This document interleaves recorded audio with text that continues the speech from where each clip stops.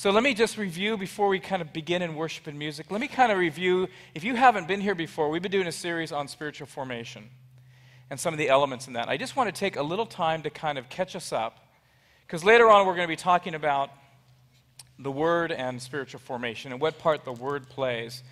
But I just want to mention a few things about where we've been. You guys on the sides are going to have a hard time seeing this, but you'll hear the words. And it's actually on your sheet. So if you did receive a sheet, you're going to be looking at just kind of important spiritual formation um, kind of notes. That's probably the word that's missing there notes. So we talked about early on in the series, we talked about really what the original sin was. And if you remember, Satan's brilliant suggestion, that's a tree, by the way. Um, Satan's brilliant suggestion was you know that tree that he told you not to eat of? That God told you not to eat of? Well, you think he did that for your good. You think he did that because he has some plan of love for you. But Satan said no. He doesn't want you to eat of the fruit of that tree because if you do, you will become like him, knowing good from evil. Well, what's the implicit lie there? You know, when I actually, when I'm watching commercials with my kids, you know, we're watching TV and a commercial comes up, I always tell them, okay, what's the lie here? They're getting good at it. They're getting good. If I wear that makeup, then everyone will love me. I go, you're right, that's the lie. Um, what's the lie here? The lie here is that God doesn't love you. You think He gave this prohibition because He loves you? He doesn't love you. He doesn't want you to become like Him. He's your rival. He is your rival. That's why He doesn't want you to eat, because you'll suddenly become like Him. Wow. Wow. That, that's a game changer for Adam and Eve. So, what they begin to realize is well, if he's not for me, then I have got to become for myself. I have got to find the things I need. I've got to find security. I've got to find love. I've got to find identity. So, the original sin came from the failure to believe that God is really for them. And so, what do you do when you don't think God is for you? You've got to strike out on your own. You've got to secure everything in your own. So we talked about the original sin is really autonomy or independence from God. And it's trying to seek a real need that we have that's legitimate for love and security. But we add autonomy to that, that is, trying to seek it from somebody other than God, and that's sin. So, sin is autonomy acting independently from God, which is really driven by legitimate needs we have for love and security and to live the way we should. So we talked about that early on. Sin is this kind of need plus autonomy. Well, what results from that, of course, immediately for Adam and Eve is guilt and shame. Because what are the first two things they do after this? Anybody? They cover themselves and they also hide. Hide. So the first thing they do is, is hide and cover because they instinctively realize, wow, something just broke in me. They feel vulnerable. They're kind of out on their own now, and they just feel naked. Of course, they are naked, but they feel spiritually naked. And the guilt now is, oh my gosh, I, am kind of living outside of God, and they fear punishment. And so, what do we do when we fear punishment? We hide. We hide. I have a little dog, and when he knows he's done something wrong and I say it, whew, right under the table. Okay? Even somehow animals get it. Um, so guilt caused them to hide, and God's going through the garden, Where are you? Um, and the other thing they do, of course, and the other thing is shame. Shame is this like, the sense that oh, I've got something broken in me, and people are going to see it. People are going to see this. And we talked about shame, how, how what's the first thing you do when you run up the stairs and you trip? What's the first thing you do when you trip? It's not even a sin to trip. Thank goodness, by the way. What's the first thing you do when you trip? You look around. Did anyone see that I'm a dork? If not, I'm cool. But if so, you feel a sense of shame, and of course, shame makes you just want to cover. It's like you want to cover. And so, this is the other thing that came originally with the original sin that idea to cover and hide. And we as humans have spent most of our life trying to cover and hide, try, knowing that there's a brokenness inside us and trying to find ways to cover and hide. And of course, we talked about what that leads to is sometimes trying to find identities that will help us cover and hide, things we're good at. Now, these are things we're naturally good at, these are good things. But what we're trying to find often with these things is how can I be successful enough? How can I be funny enough? How can I be seductive enough? How can I be um, uh, athletic enough? How can I be insightful enough? And we find these things that we're good at that are good, but we try to crawl completely inside them and find our identity in them because we need a place to cover and hide. We need a place to feel like we're good. And of course, because this is happening all apart from God, it's what Paul calls the flesh. The flesh is simply our human power to try and save ourselves. That's what the flesh is in Scripture. It's just our human power, which is weak. our human power can't save us from guilt and shame if we're acting outside of God. Only the cross can. And so we said that what happens in our lives then is we have this sanctification gap, what's called a sanctification gap. We know the law says we should be up here, and the law is good. The law said we should be behaving this way, we should be in this way. But really, we realize I'm here, and that's what caused us to cover and hide. I, oh, I should be praying more, or I should be doing all these things. And the law is meant to kind of show us this gap and to drive us continually to the cross, to fly to the cross. Instead of trying to cover and hide our failure, spiritual failure. And again, that's kind of us trying to seek security apart from God. What we do is we continue to try and find it, even as Christians try to find it can I be a good enough minister? Can I be uh, a good enough, a kind enough person? And so, even within Christian, we keep trying to find some identity apart from God to save us from these feelings of brokenness. And we talked about really what we need to do. Every time we need to experience the gospel. In that moment of shame or guilt that may come daily, that sense of spiritual failure, the first thing we want to do as we repent is we want to fly to the cross and say, Lord, my identity is that I belong to you. Thank you for the cross. And in fact, spiritual, spiritual, spiritual formation can be thought of as the whole process of letting the gospel go deeper and deeper and deeper in us. And so, as we do that, and as we open to the thing, instead of hiding our stuff from God, as we open the truth of ourselves, yeah, we, we have sin. And we continue to. And we have needs. As we open that, what Scripture talks about is what we're doing is we're opening the heart. Because the heart is where the action is. This looks like a person wearing a cowbell, but it's supposed to be a person, okay? What's because what's going on in the heart is the Holy Spirit's not only there, but all of our disordered loves, all of our attachments, all of these identities we tried to grab, the heart we talked about last week is where the action is at. That's where the Holy Spirit wants to grab us. Because in our heart is the, is the, thing, the things that need to be healed. And so, what we want to do in, in, in our life with God, if guilt and shame cause us to cover and hide from Him, we don't want to do that. We fly to the cross, which opens us up because we have no fear now with God. There may be sadness, but no fear.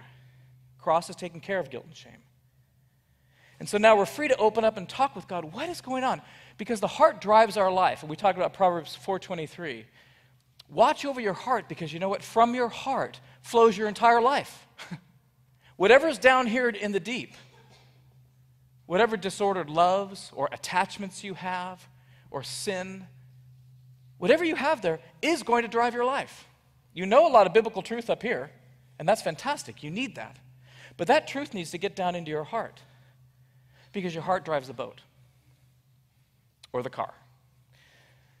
So we talked about the importance of attending to the heart and that sin is often just a leaking of these things out of the heart. And I showed you the picture of the glacier that we think of sin sometimes as just, we should think of sin as kind of these moments when the glacier kind of pokes up above the water, but really what's happening is that glacier goes down deep. And it's what's happening in our heart in which we leak. I don't get up in the morning saying, Oh, I think I'm going to sin today. I think I'll sin robustly today.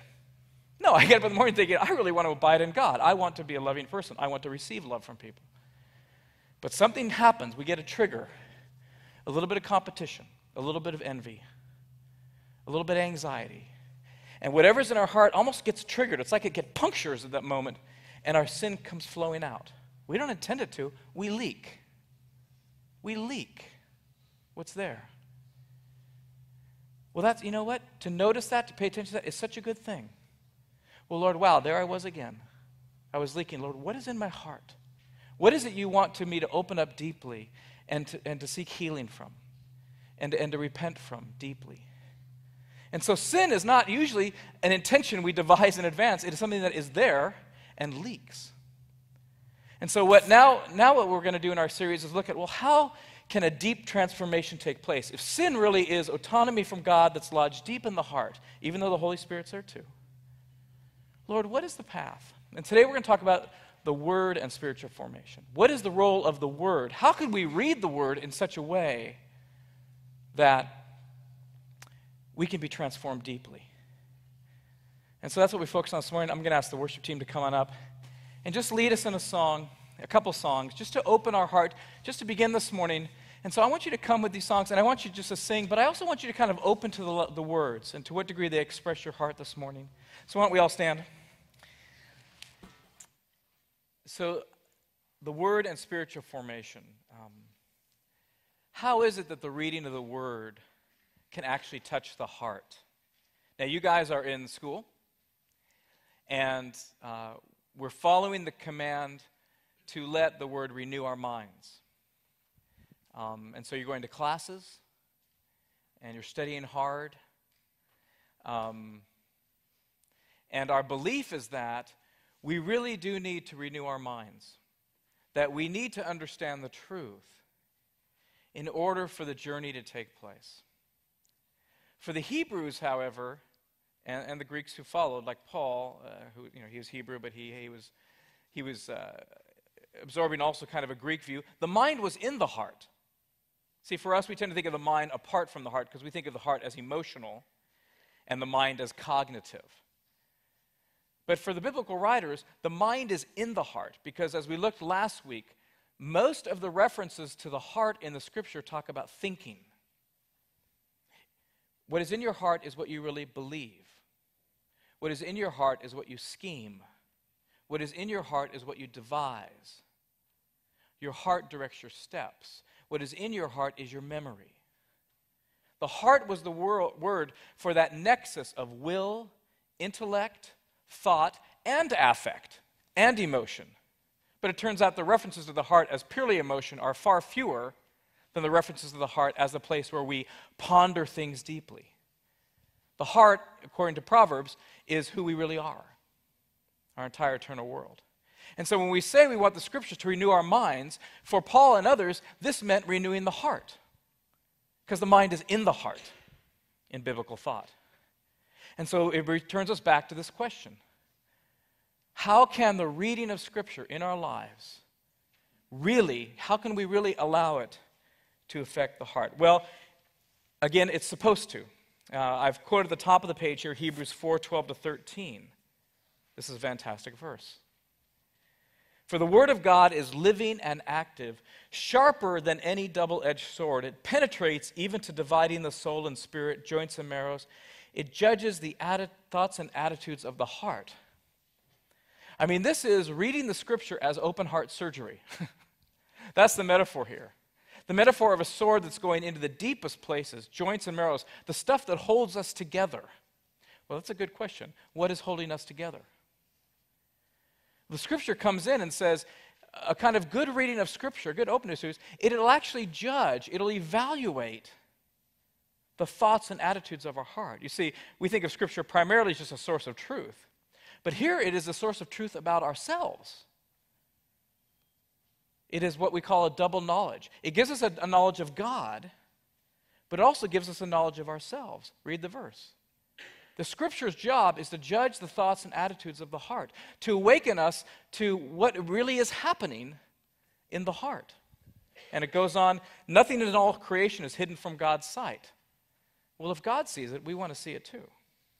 Everything is uncovered, laid bare before the eyes of Him to whom we must give account. See, God calls us to come out of hiding, to come out of hiding and covering. And, and a kind of, kind of uh, important reading of the Scripture is to open the truth of ourselves, because the Scripture wants to come in there and do a little open heart surgery. One takes that sword and open up the thoughts and attitudes of the heart. And the scriptures also want to show us what we really believe. If you have your Bibles, you might flip over to 1 Corinthians 2 14 to 16. 1 Corinthians chapter 2, 14 to 16. Here, Paul says, the natural person, that is the person without the Spirit, does not accept the things of the Spirit of God, for they are folly to him and he is not able to understand them because they're spiritually discerned. He says the person who doesn't have the Spirit, they can read the scriptures, and you know, they can kind of get it. Oh, like I need to be a good person, I need to not lie. I mean, it's not that they're, I mean, let's face it, it's not they're completely without understanding. A lot of people who aren't believers acknowledge the Bible as an important moral, uh, as an important moral teaching. But what he's saying here, they really don't get it. they don't understand it. And in fact, he goes on to say, the spiritual person, on the other hand, the person who has the Spirit, that's what spirit, spiritual means, by the way, is, is with the Spirit. The spiritual person judges all things, but is himself to be judged by no one. For who has understand the mind of the Lord as so to instruct him? But we have the mind of Christ. So, what the spiritual person can do when they read the scriptures is we can kind of not just kind of get what the sentences mean, but we actually spiritually appraise them. We understand them. We, in other words, we value them. The Spirit in us reads something, and we not only get it, but ideally our heart should go, Yes. Yes. And you've had this experience. You've been in chapel, you've been in a church service, people preaching the word, and inside, you're not just kind of getting the sense of it. Your heart is going, Yes. I believe and value that. Well, that is, what, that is where we want to be. Because, of course, we have these beliefs in our head, these doctrines that we do believe are true to some extent. But, you know, that's kind of our conscious theology. You and I all have an unconscious theology. And this is what's in the heart. And on some days, our unconscious theology is going to say, well, yeah, you believe in your conscious theology that God is sovereign. But your anxiety right now, your really high anxiety, tells you that you've got another belief going simultaneously. God is not sovereign. God does not love me. And so we have this unconscious theology. And so part of us may be kind of saying yes when we hear God is sovereign and loving. Part of us is saying, I'm not sure. Well, the scriptures are meant to go in and show us the truth of ourselves. Again, we have the cross, remember? There's no condemnation here. There may be some sadness. There may be some kind of, gosh, I wish I were at a place where I really believe this. But God, I have to tell you, honestly, I'm not sure I do entirely yet. Part of me does. You know, scripture is like that sonar on boats when they send sonar down. And you know how sonar works? There's sound waves that go down. And when they hit something, you get a little beep, beep. We just hit something. Well, truth is like that. Scripture, read scripture, it sends the scripture down. And if you and I truly in our heart believed everything as a spiritual man does, which is yes, yes, then it, there would be no beeps, right? There'd be no beeps. It would just go all the way down and be clean. Well, you and I have beeps. You and I have areas of our hearts where, yeah, you know, I consciously, I do believe this, but unconsciously, I realize that in my heart there's still some unbelief. And it's not that I don't, you know, it's not that I don't believe it. It's just that I have some, some needs and fears and wounds that have generated some unbelief. And so when we read the scriptures, sometimes if we really kind of be honest with God, it's like, I get it, I get it, I get it, beep. Oh, there's a part of it I need to grow in. Part of it I need your healing in. So the scriptures are meant to open that up. And of course, if you think of Jesus' parable of the soils in Matthew 13, the scripture is good, right? The, the farmer is pitching the seeds. He's pitching the seeds. That's great. But what does the kind of change depend upon to some degree? It depends on the soil. That's a parable. It, it's sometimes called the parable of the sower but I think better translations have the editors put in parable of the soils. This is a parable about the soils. That some soils have in their heart this kind of stuff that chokes it out. It doesn't really get to the heart. Or it's shallow or rocky. It doesn't really get to the heart. And so ideally, a reading of Scripture is one that goes to the heart. Otherwise, we risk our biblical understanding and learning, we risk being shallow Christians where we kind of have studied enough just to learn the insights and the principles. But we end up being a little bit shallow as people because we haven't let the understanding come into our heart and given ourselves as a whole person to this truth. Well, it's designed to do that. So the temptation, now I'm on number, Roman number three here, the temptation is going to be while you're in college and while you're studying these scriptures, which is so good, it is so great to be in a place where you can learn scripture, the, the, the danger will be that it will become only academic. And I know this just, hap- this just happens. I mean, how could it not happen to some degree? I mean, you've got exams, you've got tests. I got to read Ephesians in the next 45 minutes. You know, um, it, it's just going to happen. You're just you're, you're archiving information. You know what? That's cool. I mean, you're here to archive a lot of information, right? You can't process everything deeply. That's impossible. So that's cool. The danger will be that becomes all you do, is you're archiving Bible knowledge. That'll be the danger. And the temptation will be not just that, not just the archiving of biblical knowledge. The temptation will be to do it apart from God. Because remember, this original sin is autonomy. Autonomy means independence. Our danger will be reading the scriptures apart from the Holy Spirit. Because remember, Hebrews says the Holy Spirit is living and active. Why is it living and active? It's just words on a page. The scripture is just words on a page. Unless, unless there's a person behind those words, within those words, driving them into our heart and opening our heart. And in fact, there is. At the top of the page, John 16, 13. When He, the Spirit of truth, comes, He will guide you into all truth. So it turns out that reading the scriptures is dealing with a person. It is dealing with a person. Christianity, I write here, is not a philosophy nor even just a theology. Christianity is not just a philosophy and not just a theology, it is fundamentally an encounter and relationship with the living God. So, the danger, the temptation for you will be to dis- disconnect the Word and the Spirit while you're in school and even afterwards. Your tendency will be to kind of read the Scriptures, get the principles, get the insights, get the truths, but not really admit the Holy Spirit into your reading. Because the Holy Spirit wants to go to your heart. The Holy Spirit has something for you in this. He wants to take it to your heart. And our danger will be to kind of miss that and develop a relationship with the Holy Scripture, in which our Trinity becomes the Father, Son, and Holy Scripture instead of the Father, Son, and Holy Spirit. And so the Scriptures are so good and so true, but we also need the Spirit to interact with those and to choose us. We need a deep reception. We need a deep reception of the scripture. And again, if you think of the parable of the soils, that is what that is about. How do we read the scriptures in such a way that we raise the probability that this will be a deep reception, an encounter with a person, not just with principles, not just with truths, which are all true? The law is good. But how can we read the scriptures in this way? Well, take a look at the next section, uh, section four. The scriptures has a word for this kind of reading, and it's called meditation. It's called meditating. Look at the passages. Psalm 1 2.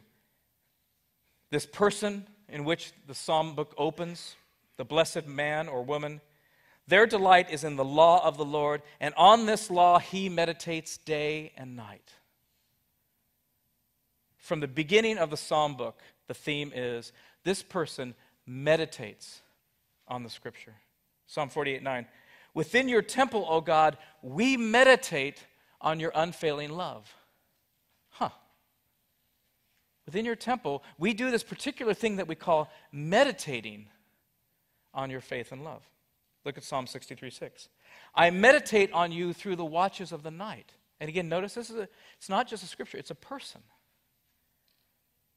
This is Jesus speaking to you in the Gospels. This is the Holy Spirit speaking to you in the Scriptures. I meditate on you through the watches of the night. Psalm 77 12. I will meditate on all your works and consider all your mighty deeds. Now, not just the Scriptures, but on your works, on history.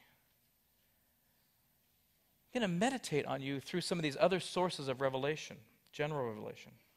Joshua 1 8. The command is do not let the book of the law depart from your mouth, meditate on it day and night. So, what is this? What is this kind of reading?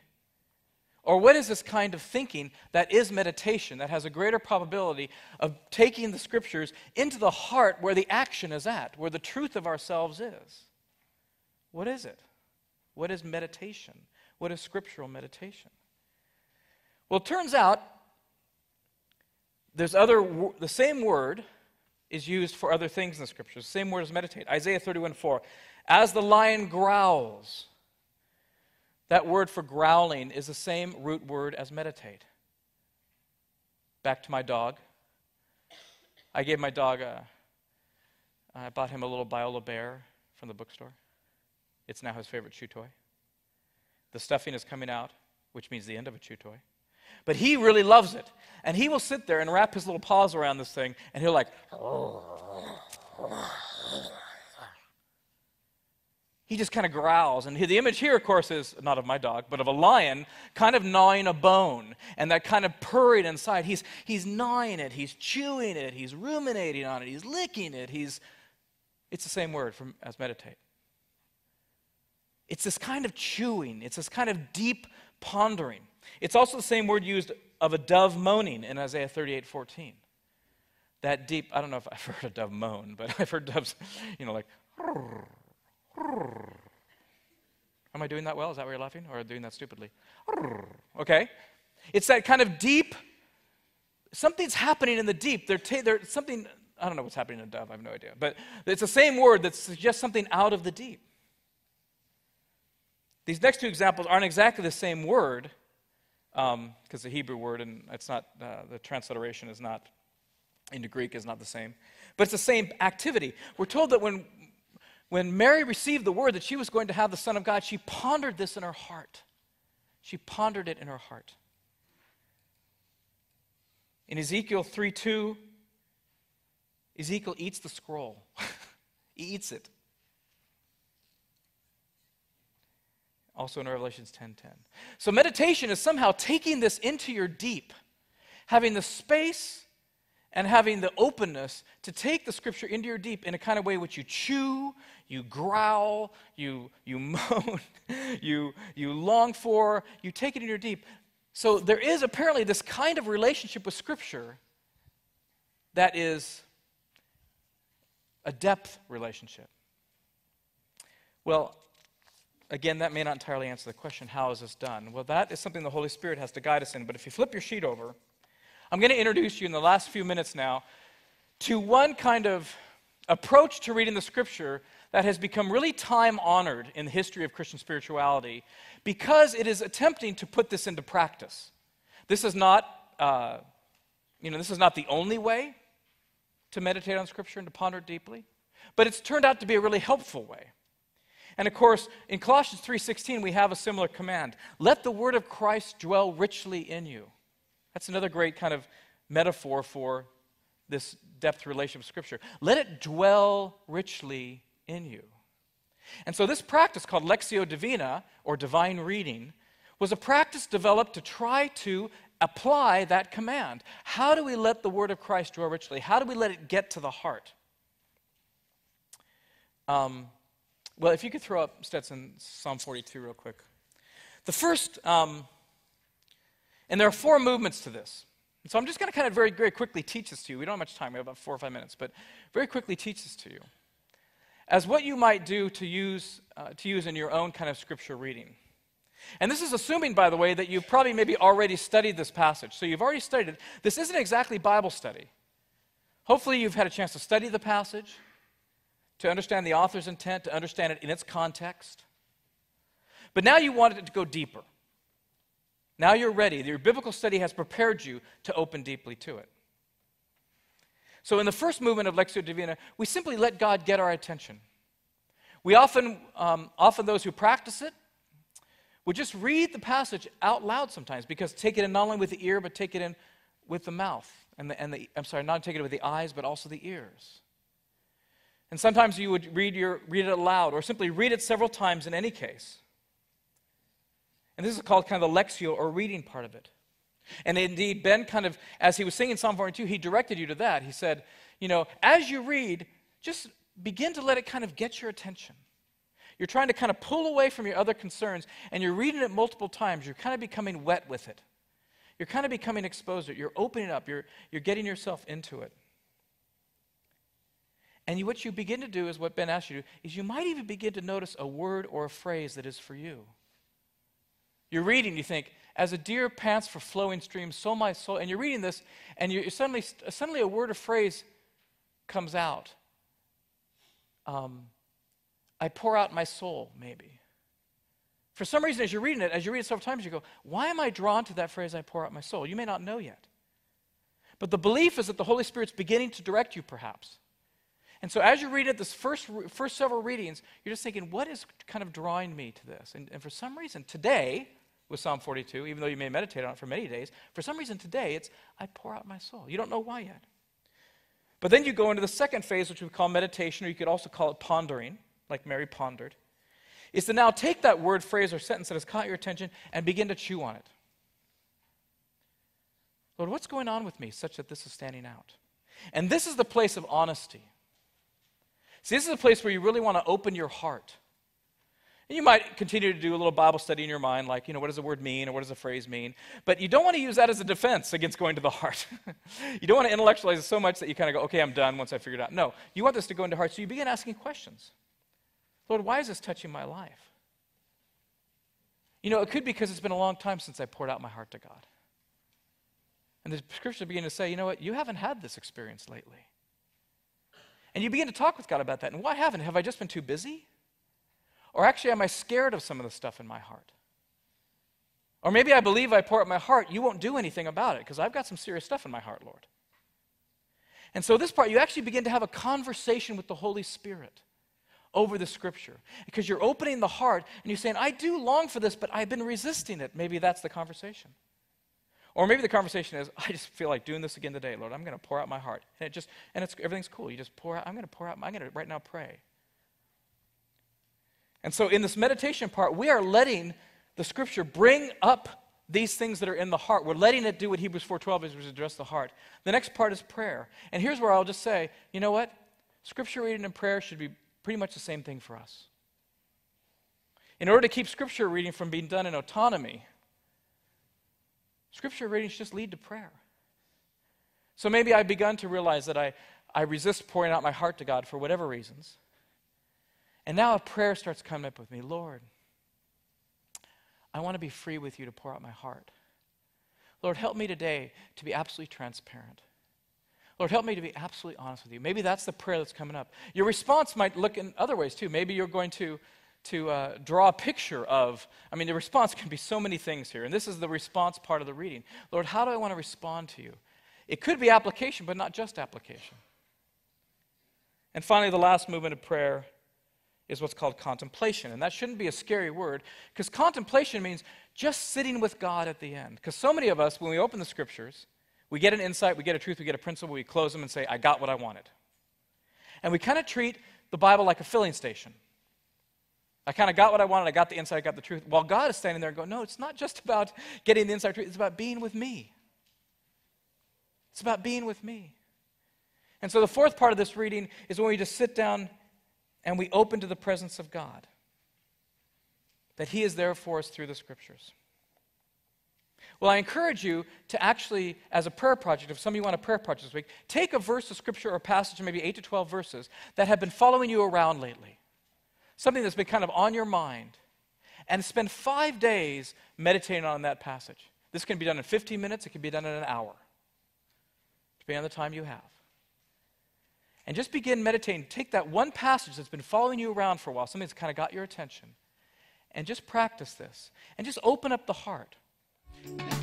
Biola University offers a variety of biblically centered degree programs, ranging from business to ministry to the arts and sciences.